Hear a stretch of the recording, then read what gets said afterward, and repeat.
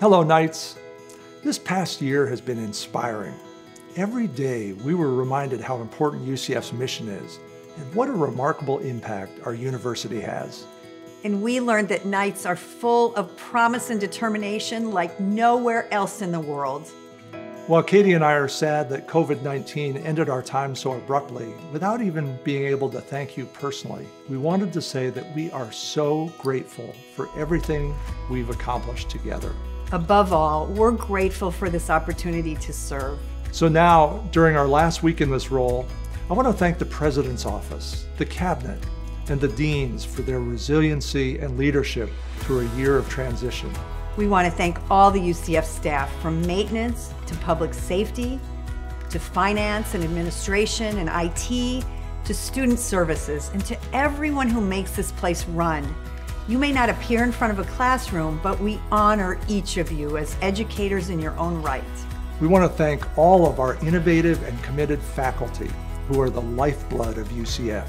You care about our students as individuals while making national and international impact. We also want to thank the UCF trustees, boards, and our devoted alumni for their confidence and investment in UCF's exciting future. We thank our student athletes, coaches, and athletic staff for embodying the grit and perseverance of UCF Knights, and for the countless hours of fun we had cheering you on. And of course, how can we ever thank our students enough? From our very first student friends in President's Leadership Council to our collaborators in student government, to those of you we met at an event or just in passing, on a scooter or golf cart. Thank you for accepting us into Knight Nation.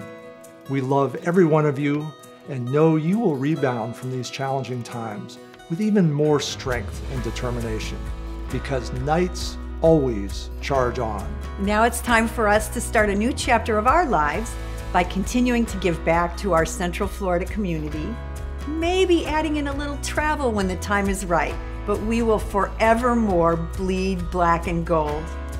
We know you'll give the same warm welcome to Dr. and Mrs. Cartwright, and we know they will love Knight Nation as much as we do. As always, but maybe now more than ever, go Knights! Charge on.